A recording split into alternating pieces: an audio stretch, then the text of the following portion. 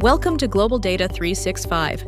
In today's video, we're going to show you how to replace and remove certain unwanted characters like slash, number sign, plus, minus, and dollar, all in a single step. This is super useful when you're working with messy data and need to clean it up for better analysis. Let's get started.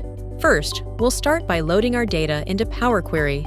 We have an Excel sheet with some data that contains slashes and unwanted characters like number sign, plus sign, minus sign, and dollar sign.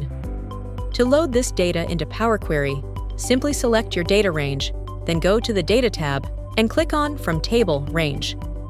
This will open the Power Query editor, where we can start cleaning the data. Now that we're in Power Query, let's first replace the slashes with commas. To do that, select the column where the slashes are present. Then, go to the Transform tab and click on Replace Values. In the Value to Find field, type slash, and in the Replace with field, type comma.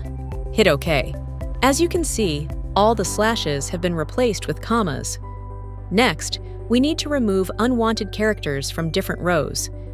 While you can replace each character one by one using the Replace Values function, doing this will add more steps and reduce performance efficiency. Instead, let's use a custom function to remove all the unwanted characters number sign, plus, minus, and dollar sign key in one go. First, select the column where these characters exist. Then, go to the Add Column tab and click on Custom Column. In the formula bar, use the text.remove function with the column that needs the changes and specify the characters you want to remove. After that, click OK, and Power Query will remove all instances of these characters across the entire column. If you no longer need the original column, right-click it and select Remove Columns. Don't forget to detect the data type by going to the Home tab and clicking Detect Data Type. Once you're done, click Close and Load to apply the changes and load the clean data back into Excel. And that's it.